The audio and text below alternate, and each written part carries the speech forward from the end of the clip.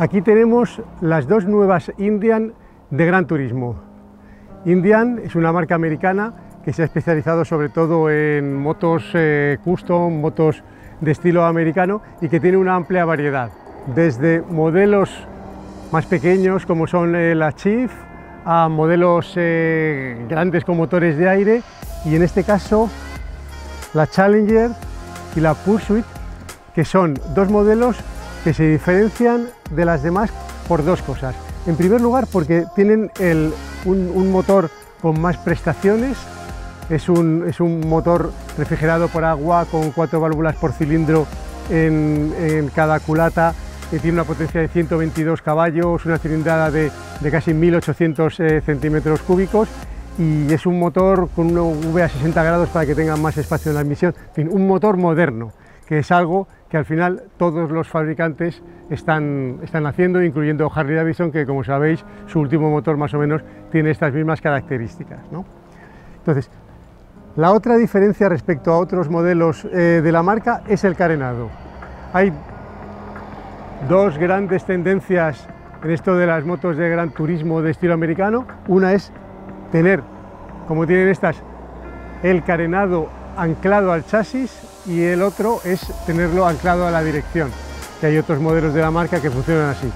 La ventaja de este carenado es que evidentemente da mayor estabilidad a la moto porque cualquier cosa que ocurra de viento, de golpes en la dirección, de baches, no te afecta tanto. Y además la dirección tiene muchísima menor inercia porque cuando mueves el manillar únicamente mueves la rueda y la horquilla, no tienes que estar moviendo toda esta parafernalia, aunque tenga incluso los relojes pegados a la moto. Entonces estas motos ofrecen una mayor estabilidad y una mayor comodidad en los viajes.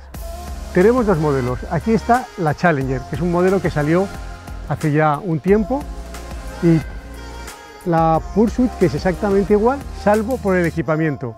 Como veis, tiene un baúl trasero y tiene también unas cartelas en la parte delantera para proteger del viento las piernas, aunque se puede abrir para que eh, te entre aire. También tiene algunos detalles de equipamiento. Las dos motos están disponibles en dos versiones estéticas, por decirlo de alguna manera. Esta que está cromada y otra que se llama Dark Horse, que tiene todo el motor y todo lo demás pintado en, negro, no llega a ser mate, un semigloss por llamarlo de alguna manera. ¿Qué podemos decir de estas motos? Pues básicamente que funcionan muy bien en el sentido de motos ruteras, porque el motor no vibra, puedes funcionar muy bien, tiene una enorme dosis de par, a partir de 2.000 vueltas tú ya puedes ir acelerando con la moto en cualquier marcha y no tienes ningún tipo de respuesta, la moto no coceo, va, va, va, va bien. Otra característica de estas dos motos es la rueda delantera de 19 pulgadas, que es una rueda más grande de lo habitual que se pone en estas motos por dos razones. La primera es para que cuando vayas a muy poca velocidad el efecto giroscópico de la rueda sea lo suficientemente alto como para que no tengas que moverte. La segunda, para que cuando vas tomando una curva, pues la moto sea bastante estable, básicamente para dar esa habilidad a la moto.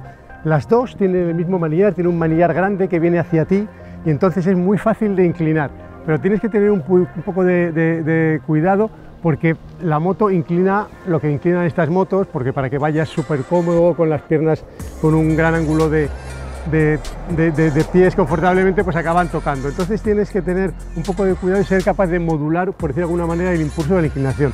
Las dos motos necesitan que las lleves abriendo líneas en la carretera. Eso de frenar y meter la moto no funciona con ellas. Aunque la moto sale muy bien, la moto está equilibrada más o menos, pero no le gusta nada.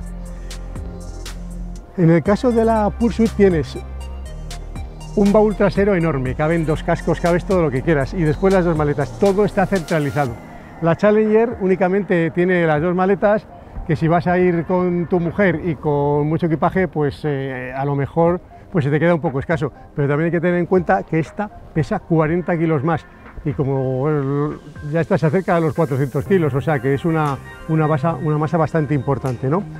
La Pursuit, que aquí se va a vender con todos los estas, tiene también algunas cosas como por ejemplo la suspensión trasera hidráulica que le puede regular la precarga.